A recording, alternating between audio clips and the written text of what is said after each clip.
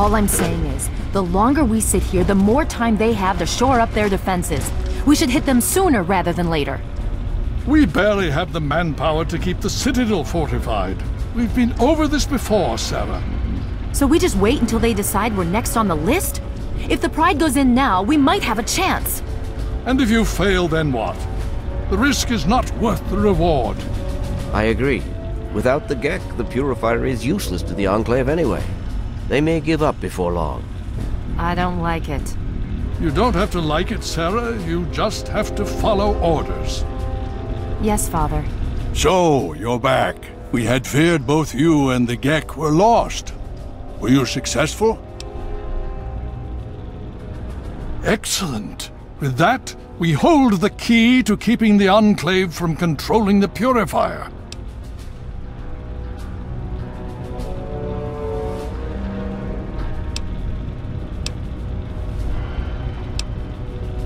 Why not? Where is it? Then we must go at once. If you have any other information, tell me now before we mobilize. Any help you can give might save lives.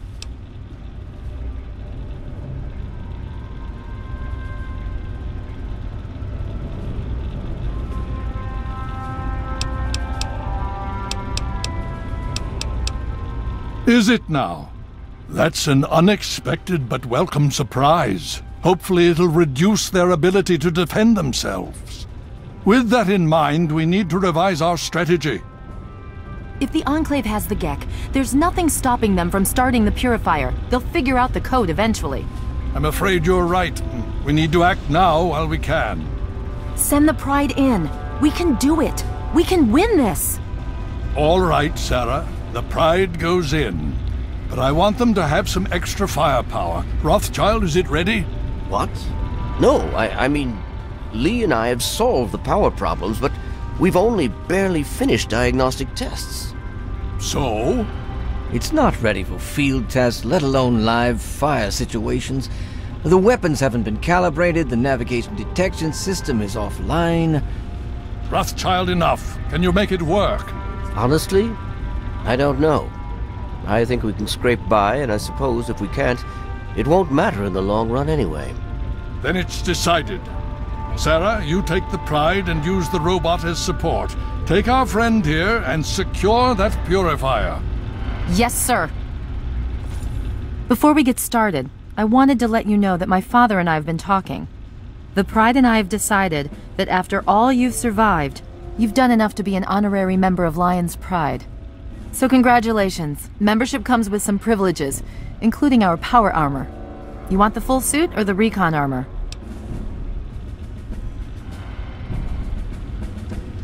Sure thing. Hopefully, it'll give you a bit of an extra edge. Okay. So do you think you can hold it together for this? Now that's what I like to hear, soldier. You all packed? We're not coming back here anytime soon. Okay, don't be nervous. You'll have the whole pride backing you up, not to mention this giant tin can. Just stay safe until we reach the purifier. You're no good to us if you're dead. And don't let that thing step on you.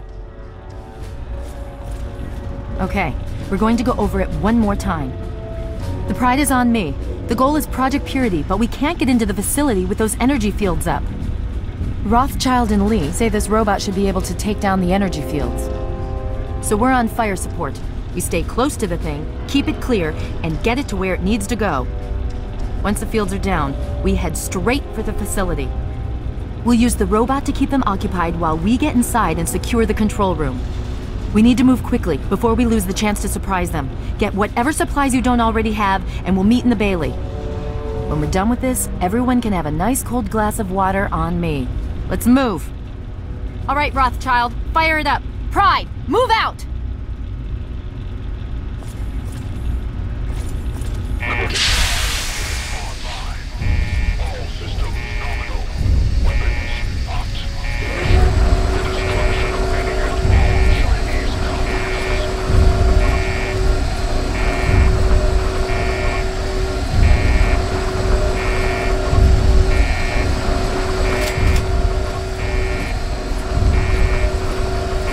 You have something to say? Yes, by all means, let's.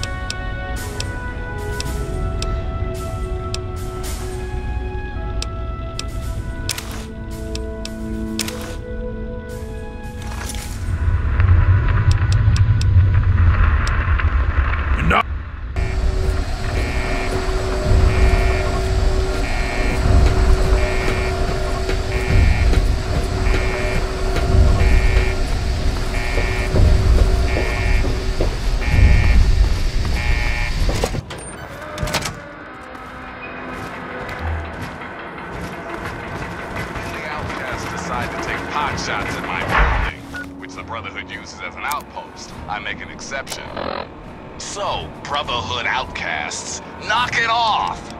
I'd prefer not to get murdered in my own backyard. The rest of you Brotherhood cats, can't you extend an olive branch or something? You think fighting the super mutants would be enough? Thanks for listening, children. This is Three Dog. And you're listening to Galaxy News Radio. We're Radio Free Wasteland, and we're here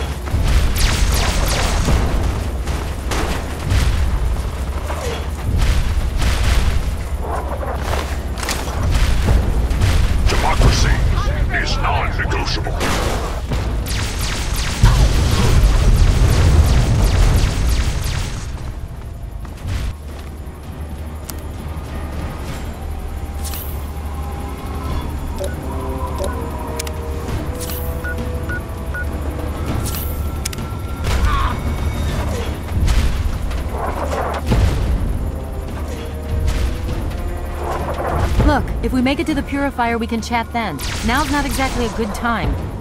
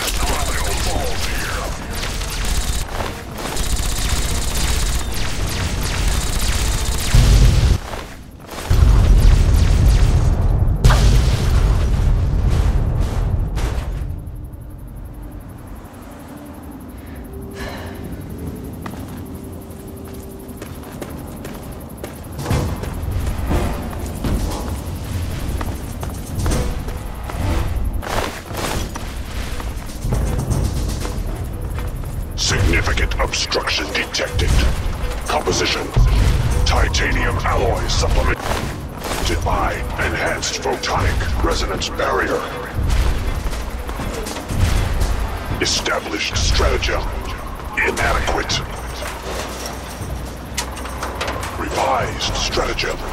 Initiate photonic resonance overcharge.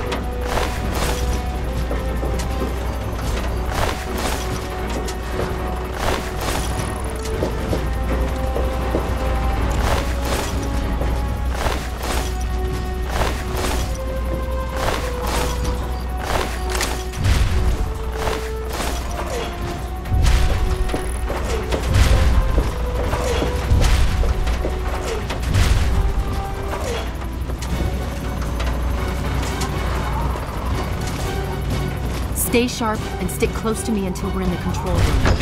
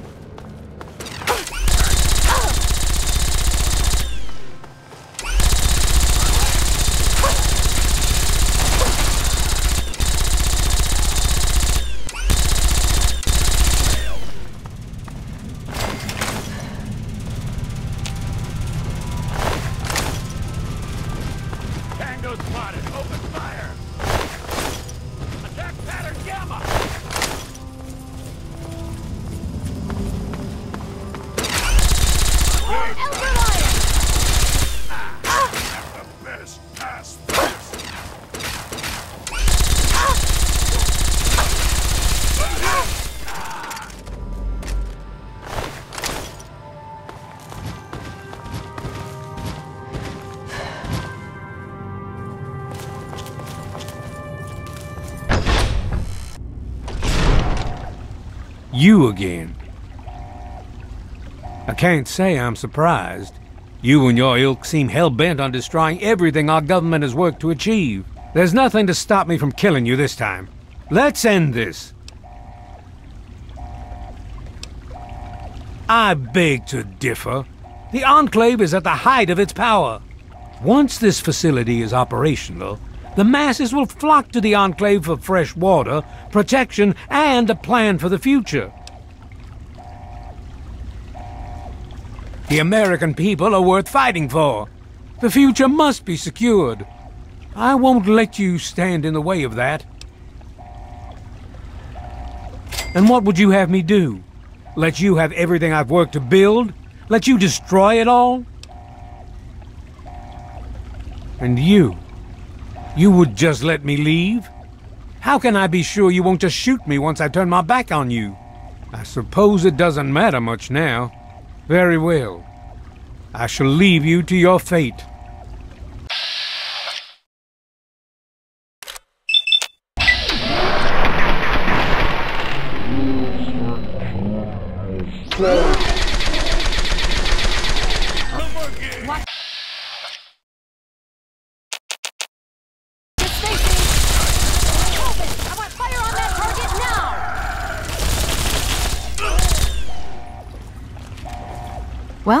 That takes care of that. By now, the Pride should be mopping up whatever opposition is left outside. Let's get this room secured. Hello? Hello, is anyone there?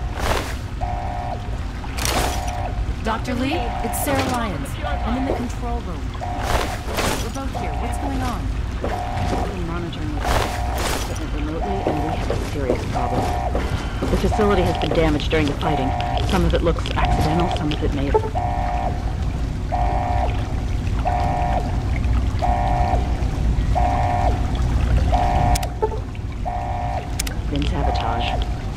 There's pressure building up in the holding tanks. It needs to be released now, or else the whole facility could explode. To release the pressure, you're going to have to turn the purifier on. Do you understand me? It has to be turned on now. If I'm reading this right, I'm afraid there are lethal levels of radiation inside the chamber. I'm sorry. I wish there was some other way, but there's just no time. It has to be done now, or the damage will be catastrophic. Well, so much for celebrating. One of us is going to have to go in there and turn the damn thing on. And whoever does it isn't coming back out. Not exactly how I imagined going out, you know? So, what should we do? Draw straws? You're going to have to be quick about it. If the radiation is bad enough, you won't have much time. I won't forget what you've done here. No one will. Thank you.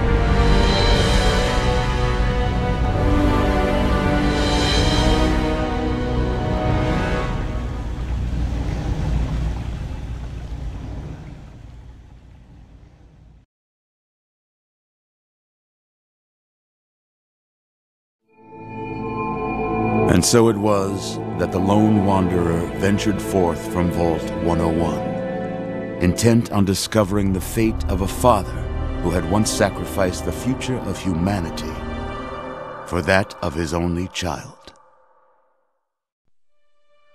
The capital wasteland proved a cruel, inhospitable place, but the lone wanderer refused to surrender to the vices that had claimed so many others the values passed on from father to child selflessness, compassion, honor guided this noble soul through countless trials and triumphs.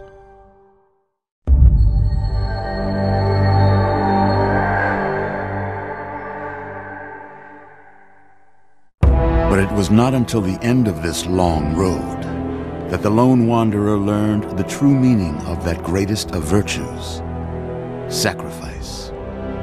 Stepping into the irradiated control chamber of Project Purity, the child followed the example of the father, sacrificing life itself for the greater good of mankind. Thankfully, when selected by the sinister president to be his instrument of annihilation, the Wanderer refused. Humanity, with all its flaws, was deemed worthy of preservation. The waters of life flowed at last, free and pure for any and all. The capital wasteland, at long last, was saved. So ends the story of the Lone Wanderer, who stepped through the great door of Vault 101 and into the annals of legend. But the tale of humanity will never come to a close, for the struggle of survival is a war without end. And war, war never changes.